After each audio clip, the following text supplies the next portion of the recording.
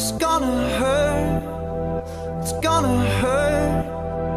I see her dancing in the street, sipping champagne on the beach. It's so expensive what she eats, cause she's so fancy, cause she's so fancy.